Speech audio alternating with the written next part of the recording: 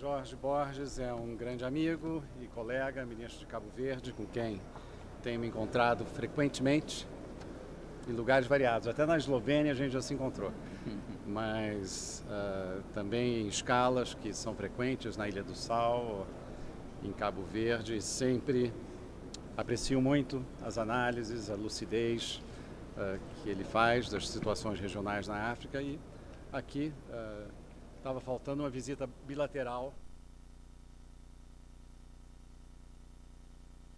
É a primeira vez aqui no Itamaraty, então uh, estamos particularmente honrados e felizes com essa oportunidade, que antes de mais nada, uma oportunidade de reafirmação dos laços de amizade fraterna que nos unem e de toda uma agenda bilateral que tem sido exemplar, eu acho que nas palavras do próprio Jorge Borges, é um, Cabo Verde um dos principais beneficiários da cooperação brasileira uh, na África e com uh, projetos que se estendem a áreas que vão da saúde, agropecuária, educação, formação profissional.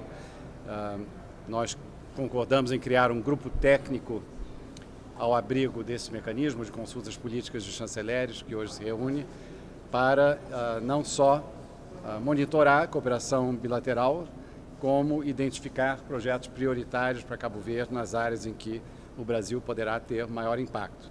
Examinamos também a possibilidade de nos associarmos a terceiros países, uh, doadores que têm uma presença em Cabo Verde, como o Japão, por exemplo, em projetos específicos. O comércio tem crescido significativamente, passando de 5 milhões para 32 milhões em menos de 10 anos e esperamos que isso aí prossiga. Existem contatos entre os setores privados, mas nós queremos intensificá-los, aproveitando inclusive a linha direta uh, existente entre Fortaleza e a Ilha do Sal. Uh, estamos trabalhando para que haja também contato direto uh, marítimo, porque Cabo Verde é um arquipélago de estabilidade, democracia, uh, boa governança. Uh, líderes cabo-verdianos ganharam prêmios como exemplos de boa gestão na África e, e sabemos que esses aí são atrativos muito grandes para quem procura uma participação maior no desenvolvimento econômico e social da África Ocidental, em particular uh, que é a região próxima a Cabo Verde. Falamos também de outras situações que nos preocupam, Guiné-Bissau em particular. Esse fim de semana, notícias preocupantes nos chegaram deste outro membro da comunidade de países de língua portuguesa, com um número de mortos, em torno de sete mortos e uh, instabilidade, uh, em um momento que justamente uh, procuramos favorecer todas as forças do diálogo. Houve encontros importantes à margem da Assembleia Geral da ONU entre o governo de transição e a liderança que foi uh, destituída e esperamos que um, esperamos que a moderação prevaleça, que o diálogo e a negociação prevaleçam. Eu incentivei muito Cabo Verde como um país que tem uma situação única de pertencer a um só tempo à Comunidade de Países da África Ocidental, a CDAO, e a Comunidade de Países de Língua Portuguesa, CPLP, de uh, procurar articular da melhor forma possível um, esse apoio de eh, grupos subregionais à busca de soluções pacíficas diplomáticas para a crise bissau-guineense. Também gostaria de mencionar aqui que eu me reuni à margem da Assembleia Geral da ONU com a nova presidente da União Africana, uh, nossa conhecida aqui de muitos anos, ex-chanceler da África do Sul, Nkosazana Dlamini Zuma, e estimulá-la também, encorajá-la a, a olhar com muita atenção para a situação de Guiné-Bissau, mais uma vez, para que se articulem de uma maneira construtiva esses subgrupos, a CDAO, na medida em que possa apoiar esses esforços da comunidade de países de língua portuguesa, a União Europeia, e as próprias Nações Unidas, quando a presidenta Dilma se reuniu com o secretário-geral da ONU, Ban Ki-moon, ela também o instou a dar atenção a essa situação. Uh, conversamos um pouco também sobre outras situações na África que nos preocupam, o Mali em particular, e sobre todos esses temas. Uh, identifico no chanceler Jorge Borges um interlocutor, para mim, privilegiado pela sua lucidez, pelo uh, grau de informação que ele sempre nos traz. Jorge, palavra com você. Muito obrigado, boa tarde a todos. Não, eu gostaria, ah, com alguma dificuldade, mas gostaria de agradecer, em primeiro lugar, o acolhimento, as palavras amáveis em relação a mim, que o nosso amigo patriota hum, dirigiu. Mas como ele acabou de vos informar, nós, portanto, ah, para Cabo Verde, Brasil representa um parceiro estratégico e essa parceria para nós, para além de ser estratégica, é prioritária. E é nessa base que nós, de facto, estabelecemos uma parceria estratégica. Tem alguns pilares uh, claros onde nós temos vindo a assumir progressos. Portanto, é natural que nós, para a margem das, dos contactos que temos tido a nível uh, nos fóruns internacionais, da troca de impressão sobre os aspectos políticos, que hoje pudéssemos uh, sentar, e foi uma reunião muito boa, onde pudemos passar em revista os vários aspectos, os programas em curso da nossa cooperação bilateral, tentar desenhar ou definir novas avenidas de cooperação, como algumas que foram já uh, confirmadas pelo Ministro Patriota, mas também podemos falar de facto de desafios que nós temos. Eu costumo dizer que nós estamos no Oceano Atlântico, que é um rio para nós, estamos dos dois lados, a mesma, de, de lados diferentes, margens diferentes, Portanto, estamos condenados, estamos condenados a, a, continuar juntos. Portanto, Cabo Verde, de facto, como disse um caro amigo, é um país uh, pequeno, mas nós temos procurado ser um país útil e ter, uma, ter também ter possibilidades de ter um desenvolvimento, ter a boa governança, como temos dito. Para nós é um asset neste momento, não podemos falar mais em desenvolver a boa governança, veio para ficar, é um asset de Cabo Verde Portanto, pensamos que é dentro dessa utilidade de Cabo Verde que procuramos trabalhar com países irmãos como, a, como o Brasil, no sentido de vermos a melhor utilidade possível e também tra trazer, esperando que esse nosso exemplo uh, de cooperação possa servir também para uh, outros países e termos, de facto, para poder servir de comparação, de exemplo, de benchmarking para outras cooperações. Portanto, este é o quadro em que nos encontramos uh, aqui neste momento. Como eu dizia, foi uma reunião muito boa que permitiu, de facto, um ambiente cordial próprio de estar de entre irmãos, de podermos uh, passar em revista todos os aspectos e todos os problemas e todos os desafios que nós temos e definir, de facto, linhas mestras para, para o futuro e consolidação dessa parceria que é, de facto, estratégica. Pergunta? Última pergunta Borges e uma ao. Ao ministro Jorge Borges, eu gostaria de saber se os senhores conversaram sobre a crescente presença da China no continente africano e como o senhor vê essa presença da China nos países africanos de língua portuguesa, que desafios isso traz para até para o Brasil, que é um país que também quer ter uh, uma presença maior na, na África. E ao ministro Antônio Patriota, uh, peço desculpa por não falar de África, puxar um pouco para o continente, mas o senhor recentemente é, disse que seria possível o reingresso do Paraguai no Mercosul antes é, do, do, das eleições que vão, se, é, vão ocorrer agora. Eu gostaria que o senhor nos dissesse se existe algum sinal do Paraguai que isso possa acontecer, qual a expectativa do Brasil hoje em relação ao reingresso do Paraguai, tendo em vista que o Senado paraguaio, inclusive, recusou a entrada da Venezuela. Bom, posso falar rapidamente para voltarmos à África o quanto antes. É, o que eu comentei é que a decisão adotada pelo chefe de Estado e governo da Unasul falam da plena vigência da democracia uh, no Paraguai. Obviamente, um elemento da plena vigência são eleições livres e transparentes. E, então, eu também comentei que é encorajador o fato de que uh, está mantido o calendário de eleições no Paraguai. E teremos que observar como é que esse processo desenrola e uh, a Unasul deliberará sobre o assunto, mais uma vez em nível de chefe de Estado e governo. Eles se reúnem agora no fim de novembro em Lima. Pode ser é... Não, em Lima será, enfim, acompanhado, mas não há indicação nenhuma de que a suspensão do Paraguai da Unasul seja decidida na ausência de fatos que uh, corroborem a plena vigência democrática. E um processo eleitoral idôneo, como eu digo, é um elemento fundamental uh, na verificação da plena vigência da democracia. Assim sendo, uh, enquanto a decisão não fala especificamente de eleições, as eleições são um elemento fundamental. Uh, não é provável o, ingresso antes de eleição e até mesmo depois da eleição será necessário verificar como é elas se desenrolaram.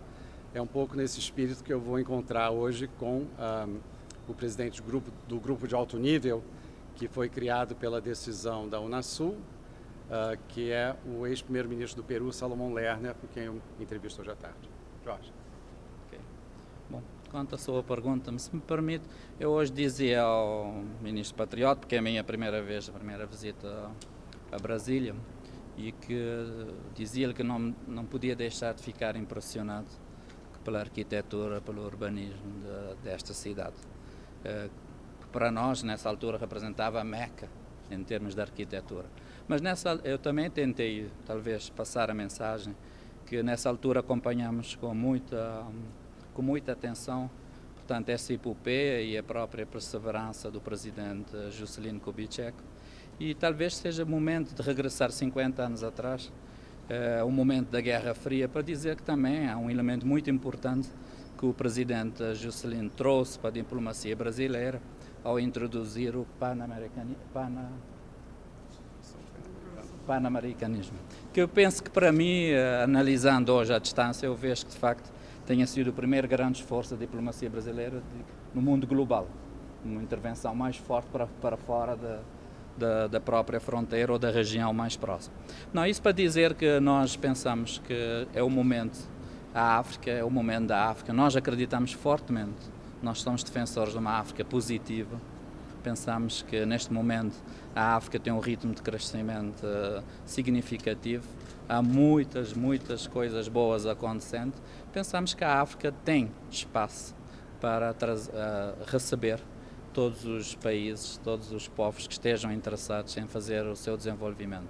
Portanto, é nesse, é nesse sentido que nós temos, vemos com muita amizade e com muita simpatia é, é, portanto, a estratégia brasileira de aproximação do, do, outro lado da margem do rio, que é o, o, Oceano Atlântico, e temos apoiado no que, no que for necessário. Da mesma forma, pensamos que há outros países que vêm se aproximando, indicou o caso da China, tem uma, talvez tenha iniciado mais cedo com uma, com uma visão ou com uma, um approach mais programático, mas pensamos que é a mensagem que queríamos deixar, que é o momento, acreditamos que é o momento da África, é o momento dessa África positiva, portanto toda a gente é bem-vinda ao continente africano, desde que venha para fazer o desenvolvimento uh, do, nosso, do nosso continente.